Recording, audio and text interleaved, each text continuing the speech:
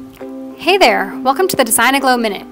Today we're going to teach you how to insert images into our Photoshop templates. It's quick and painless, and with a little practice you'll be a pro in no time. First, let's open the Photoshop template you'd like to add your images to. This file will end in .psd. For this example, we're using the back of the welcome card from the Minimalist Wedding Welcome Packet. To enter full screen mode in Photoshop, simply press F as in Frank. To get out of it, just press F two more times. Select the layer you would like to place your image into in our Layers palette. When using our templates, this layer will typically be called Image Layer. Depending on how many images are in the template, we'll label them in numerical order, such as Image Layer 1, 2, 3, etc. If you're on a Mac, you can easily drag an image from a folder straight onto the template that's open within Photoshop.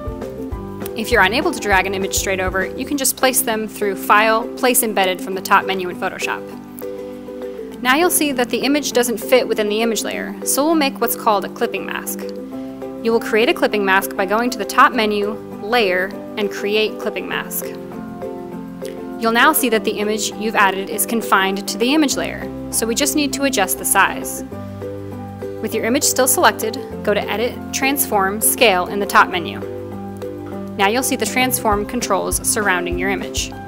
Click on one of the corners and hold shift while you drag the corner in or out to adjust the size.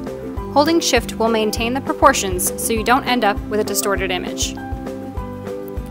Once you have the image at the size you want, press enter to finalize the transformation.